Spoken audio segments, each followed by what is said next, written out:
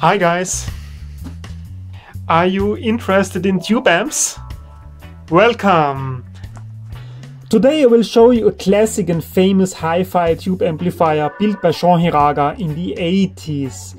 I will show you all details in a minute, including the interior. Let me just say one thing.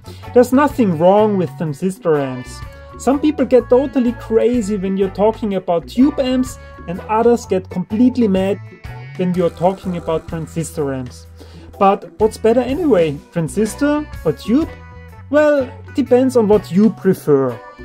Really, if you like transistor amps the most, well, that's okay. And if you prefer tube amps, well, it's okay either. I like amps from both worlds, transistor and tubes. At least uh, I'm not a fan of voodoo bullshit and fake tube amps. As an example, check out Dave's EEVblog episode number 837 where he debunks such a thing.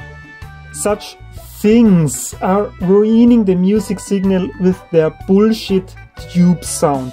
They only add up unnecessary harmonics and distortions to the signal. They are forcing the music through a completely unnecessary signal path.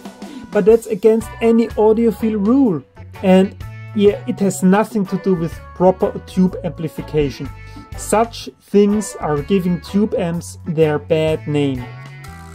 And here is where my story continues. The Jean Hiraga Model 50. It was engineered by Jean Hiraga in the 80s.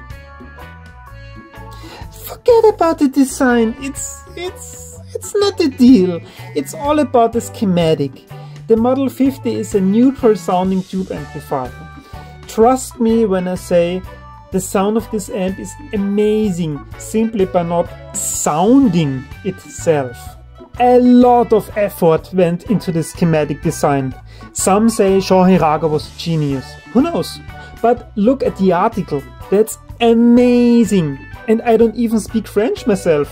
Gut, äh, meine Klavierlehrerin kann Französisch, aber ich glaube, das zählt nicht. Look at the calculations, graphs and details. Jean Hiraga lived for the ultimate music experience. He was not an audio fool and not a tube fool as well. He wasn't focused on tubes only. Anything was allowed, just uh, if it helps to improve the sound quality. By the way, uh, Jean Hiraga also did some famous transistor amps. Here is the amplifier while playing in my hi-fi setup. Yeah, not high-end of course. I can't play the music for obvious reasons.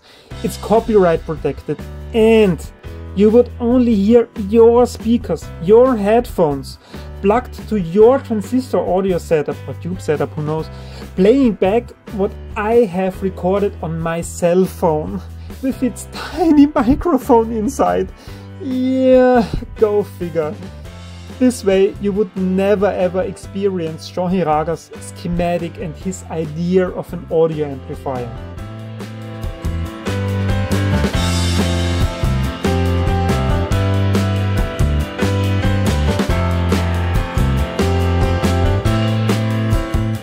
Let's have a look inside. The power transformer from the bottom view with wirings for 6.3 filament voltage and the anode voltage of 400 volts something. Rectifiers. A high voltage reservoir capacitor followed by a DC coil and another reservoir capacitor of the same type smoothing the DC.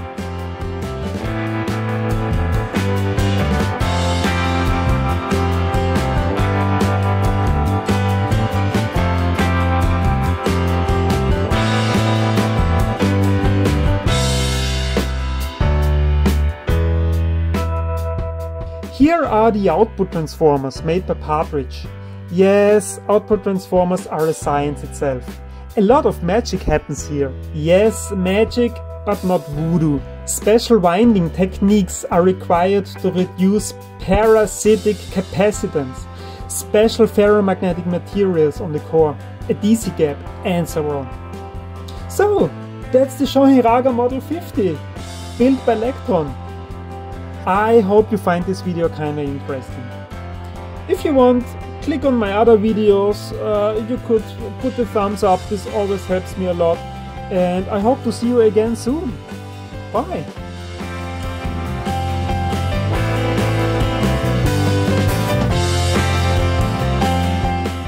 There we go.